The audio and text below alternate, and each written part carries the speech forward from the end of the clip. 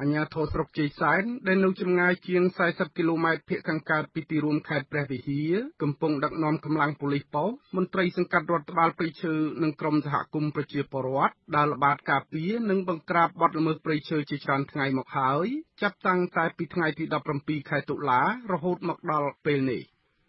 ការរួមកម្លាំងពីច្រើនផ្នែកដើម្បីដើរល្បាតការពារនិងបង្ក្រាបបទល្មើសព្រៃឈើនេះបានធ្វើឲ្យបណ្ដាញការពារព្រៃឈើនិងអង្គការក្រៅរដ្ឋាភិបាលខ្លះមានការងឿងឆ្ងល់ដោយសារតែជាច្រើនឆ្នាំកន្លងទៅ គេមិនសូវឃើញអាជ្ញាធរឬក៏មន្ត្រីរដ្ឋាភិបាលចូលរួមសហការជាមួយសហគមន៍និងអង្គការក្រៅរដ្ឋាភិបាលក្នុងរឿងបង្ក្រាបបទល្មើសព្រៃឈើដូចនេះទេអភិបាលស្រុកជ័យសែនគឺលោកថោងសាគឿន លោកបានមានប្រសាសន៍ថាចាប់តាំងពីក្រោយពេលទឹកជំនន់បានថយចុះទៅ លោកក៏បានចាប់ផ្ដើមធ្វើការងារជាមួយប្រជាពលរដ្ឋជាមួយបណ្ដាញសហគមន៍ការពារព្រៃឡង់ព្រមទាំងអង្គការក្រៅរដ្ឋាភិបាលចុះដើរល្បាតការពារនិងបង្ក្រាបការកាប់បំផ្លាញព្រៃឈើជាច្រើនកន្លែងក្នុងភូមិសាស្ត្រនៃស្រុករបស់លោក។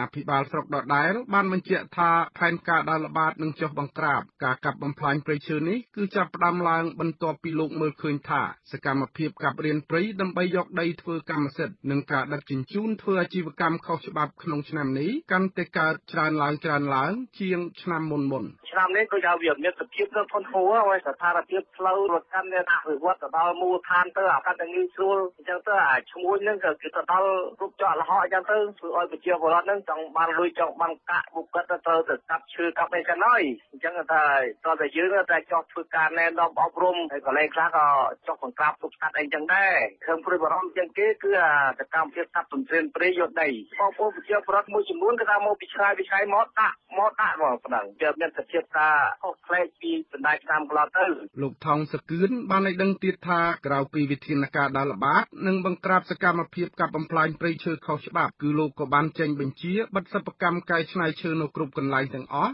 ក្នុងស្រុករបស់លោកមិនថាសិប្បកម្មនោះមានច្បាប់ឬក៏គ្មានច្បាប់ទេក្រុមបណ្ដាញការពារព្រៃឡង់និងអង្គការក្រៅរដ្ឋាភិបាលមួយឈ្មោះពន្លកខ្មែរបានចូលរួមយ៉ាងសកម្មជាមួយអាជ្ញាធរស្រុកជ័យសែនចំពោះសកម្មភាពដើរល្បាតនិងបង្ក្រាបបទល្មើសព្រៃឈើនោះ ប្រធានបណ្ដាញការពារព្រៃឡង់ប្រចាំស្រុករវៀងខេត្តព្រះវិហារលោកស្វាយភឿនបានមានប្រសាសន៍ថាកម្លាំងបណ្ដាញការពារព្រៃឡង់នៅឃុំខ្យងឃុំថ្មៀនិងឃុំស្រិតនៃស្រុកជ័យសែនបានចូលរួមលើកិច្ចការពារព្រៃឈើជាមួយអាជ្ញាធរស្រុកជ័យសែនលោកស្វាយភឿនជឿថាបទល្មើសព្រៃឈើនៅជាប់តំបន់ព្រៃឡង់នឹងថយចុះជាលំដាប់ដោយសារតែមានការចូលរួមបង្ក្រាបពីអាជ្ញាធររដ្ឋាភិបាល ពីព្រោះបណ្ដាញព្រៃឡង់ចង់បានដូចនេះជាយូរមកហើយ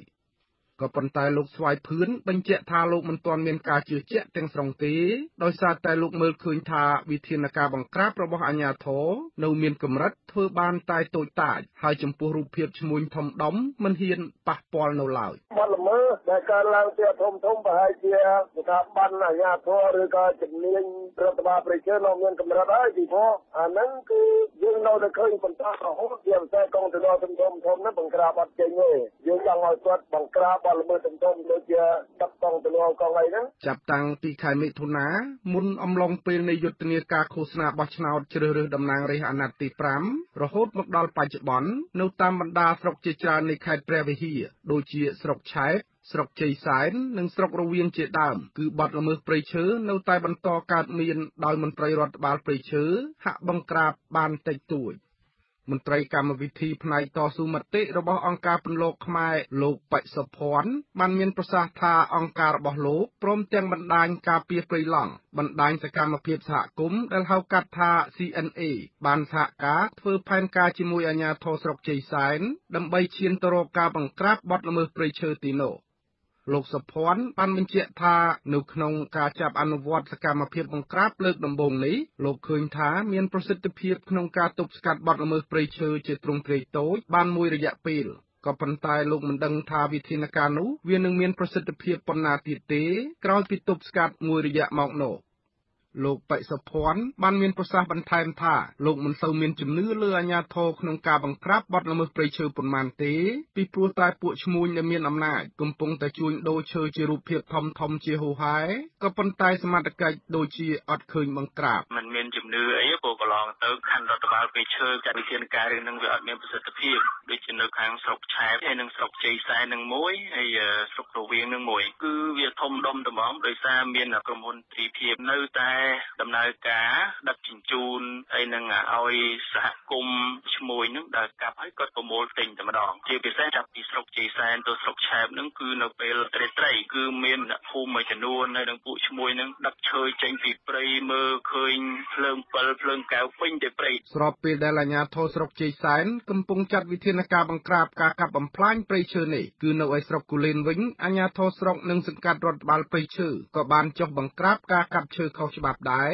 ក៏ប៉ុន្តែការបង្ក្រាបនោះមិនសំដៅទៅលើក្រុមឈ្មួញដឹកធ្វើអាជីវកម្មទេគឺដើរចាប់យកឈើពីតាមផ្ទះរបស់ប្រជាពលរដ្ឋទៅវិញកាលពីរសៀលថ្ងៃទី28ខែតុលាកន្លងទៅ ក្រមប្រជាពលរដ្ឋប្រមាណ400នាក់នៅភូមិក្តាក់ឃុំត្បែង2ស្រុកគូលែនបានលើកគ្នាហុំព័ទ្ធអាជ្ញាធរស្រុកនិងមន្ត្រីរដ្ឋបាលព្រៃឈើពេញមួយយប់ដោយសារតែចាប់យកឈើពីតាមផ្ទះរបស់គាត់ អ្នកភូមិម្នាក់បានមានប្រសាសន៍ថាវាជារឿងអយុត្តិធម៌មួយ ដែលអាជ្ញាធរស្រុកនិងមន្ត្រីរដ្ឋបាលព្រៃឈើប្រើច្បាប់មកបង្ក្រាបបទល្មើសព្រៃឈើបានតែលើប្រជាពលរដ្ឋតូចតាចមករឹ បអូឈើប្រជាពលរដ្ឋតាមផ្ទះខ្ញុំមិនអត់សមរម្យប្រយទេប្រជាជនមានឈើសម្រាប់ធ្វើផ្ទះអីតិចតួចចាប់ដល់ពេលអាឈ្មោះដឹកទាំងឡានទាំងឡានទាំងគីបទាំងគីបអីអីនោះអត់ចាប់សោះក្រុមអ្នកភូមិបានរិះគន់ថាវិធានការបង្ក្រាបបទល្មើសព្រៃឈើរបស់អាជ្ញាធរបែបនេះគឺពួកគេមិនស្វាគមន៍ទេពួកគេចង់ឃើញអាជ្ញាធររដ្ឋាភិបាលហ៊ានបញ្ចេញសាច់ដុំចាប់ឈើរាប់រយម៉ែត្រគូបដែលក្រុមឈ្មួញមានអំណាចតែងតែដឹកចេញទៅធ្វើជំនួញស្ទើរតែរៀងរាល់ថ្ងៃនោះ ខ្ញុំហងសាវយុទ្ធវិទ្យុអាស៊ីសេរីរាយការណ៍ពីខេត្ត